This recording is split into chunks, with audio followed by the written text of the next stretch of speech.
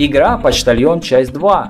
Юный паренек устроился работать в почтовое отделение разносчиком газет. Почтальон на велосипеде разъезжал по улицам города, разбрасывая газеты на придомовой территории подписчиков.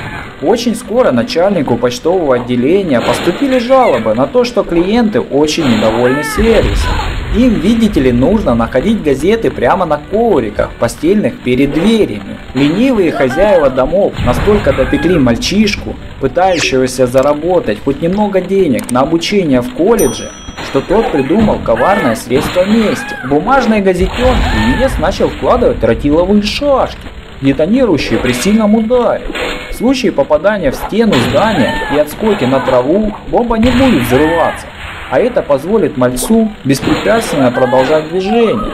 За проделанные безобразия пацан получит деньги от спонсоров террористических атак.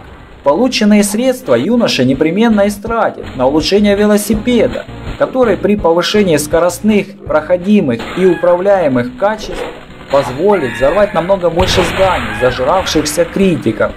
Если раньше работенка не доставляла особого удовольствия, то теперь мальчишка испытывает от нее нереальный кайф, совершая возмездие над обидчиками. И теперь малец с удовольствием ходит на работу не угрюмый, а веселый.